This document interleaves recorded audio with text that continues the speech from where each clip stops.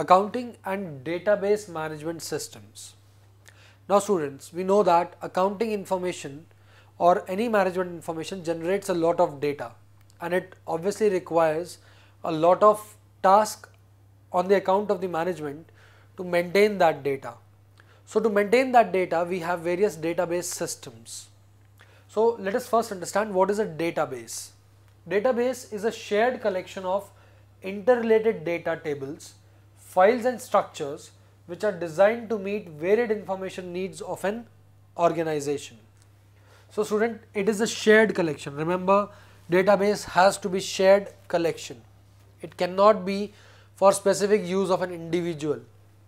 So it is a shared collection which gives us interrelated data tables, files and structures. That means any kind of information which is interrelated. They are designed to meet the varied information needs of an organization.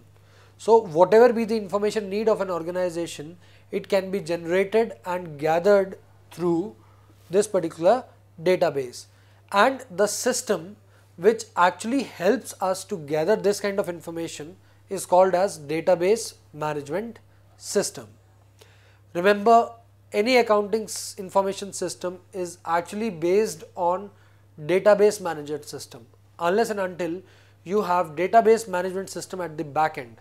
You cannot have a proper accounting information system working for you in the front offices. Now students, any database system has to have two basic characteristic that is it must be integrated.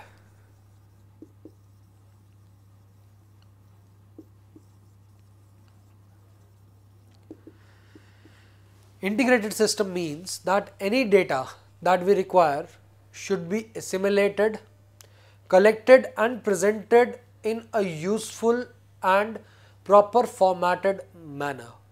If that is not there, then again the data cannot be interpreted in a, in a proper manner. Hence, it would be of no use. So, integration is must. Then we have the first one being integrated that is proper presentation. And the second part for any database system is its reliability. That is the information must be reliable. It must be backed by relevant information and that information should be correct. Also, the information that is presented through this data should be shared. Remember, it should be shared information. That is, once a database has been created, it should be shared among the users and the creators. The one who has entered the reliable information into any data should then be actually able to share that information with the users of that particular database.